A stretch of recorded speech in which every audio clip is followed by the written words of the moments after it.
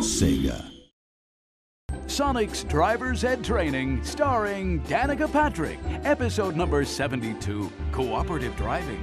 Cooperative driving requires a steady hand and an appreciation for the rules of the road.